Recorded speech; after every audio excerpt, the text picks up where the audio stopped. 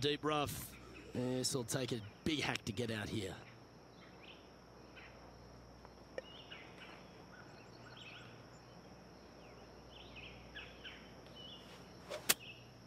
Going with the pitching wedge here.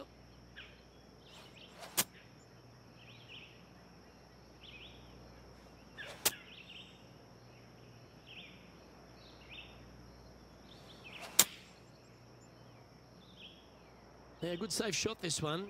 That should find the surface. Oh! And they've done it. Hold another shot from way out. Absolutely insane. I, I've never seen anything quite like this.